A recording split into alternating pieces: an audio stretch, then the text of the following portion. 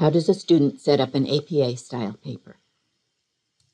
The APA, or American Psychological Association, has different guidelines for a student paper than for a professional journal. It is still a formal style, though. You'll need a title page, a body with section headings, and a reference page. In this video, we will discuss basic setup and the title page. After watching this video, you can use our visual guide or your instructor's template to remind yourself of the steps to set up your paper. Let's start at the beginning. As a Lone Star College student, you have access to Microsoft 365.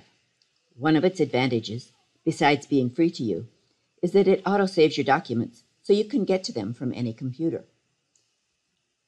To get it, you go to My Lone Star, log in, go to Student Email, and these vertical ellipses up in the top left, where you'll choose Word. You can see that you have most of the other Microsoft Office applications available to you also. Word offers an APA template, but I don't think it makes it any easier than just laying out your paper properly yourself. A template can be pretty stubborn if you want it to do something a little different. At the moment, it's still APA 6th edition, while we're using the 7th edition. If you prefer, you can download Microsoft 365 to your computer. The advantage is that you can use it even when you're not online. Go to Lone Star College, Office of Technology Services, Student Resources, Get Software. You might want to make a note of the URL. It's not that easy to find. Let's look at fonts for a moment. Fonts come in two basic versions, serif and sans serif. What does that mean? A serif font has little adornments or feet at the ends of the letters, where sans serifs do not. Serif fonts are more readable on a paper document, and sans serif reads better online.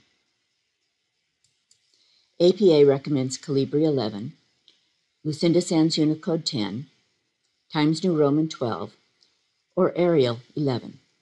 You may notice that three of the four recommended fonts are sans serif. After all, aren't most of your papers submitted online these days? They do say you can use another font similar in size and readability, but take care. Fonts have personality styles, and you don't want to send the wrong message. Which font seems more readable to you, more appropriate for your topic? You can see that these are all about the same size. You might be tempted to go bigger if, say, your instructor has told you to write a 10 page paper. Don't do it. A double spaced paper is expected to have about 250 words on a page. That means a 10 page paper should have about 2,500 words. How do you know how many words you've written already? You look down here at the bottom left. You can see that I currently have 15 words. You will need a page number on every page, including the title page, so we'll start with that.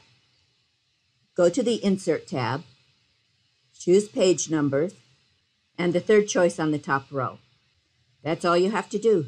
Don't put a page number in yourself. You don't want every page to be page one. You might be using the desktop version of Word. That looks a little different. Go to the Insert tab, choose Page Number, top of page, plain number three. Don't worry, that doesn't mean your paper will start with page 3. You could actually do this step on any page, and all the pages would be numbered correctly. Double-click to get out of the header. Now let's go back to the Home tab. Notice that we're still on the desktop version. See this little arrow next to paragraph?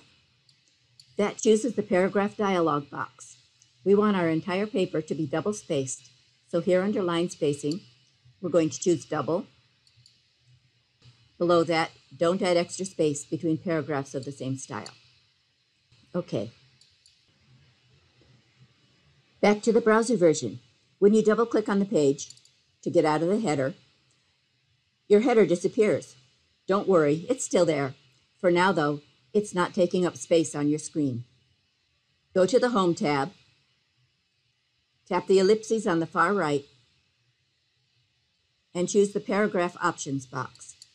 It looks a little bit different than the par- paragraph dialog box that we saw on the desktop version, but you can still do the same things with it.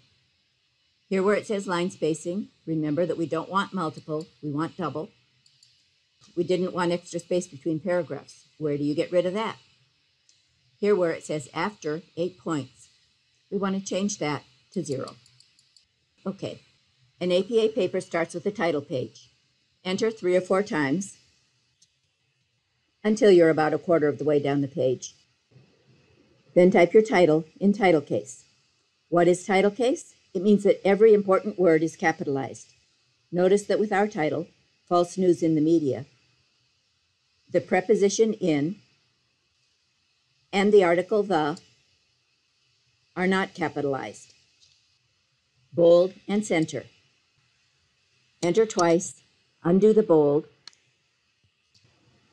and type in your name, your school and campus, your course number and name, your instructor, and the date. What date? This is the due date, not the date you wrote the paper.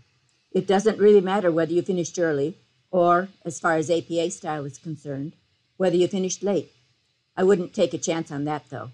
It will matter to your instructor. That's it. Your title page is done. Go to the Insert tab and select Page Break. Now you're ready to start the body of your paper. Our next video, Writing Your Paper APA Style, Body and Reference Page, will explain that.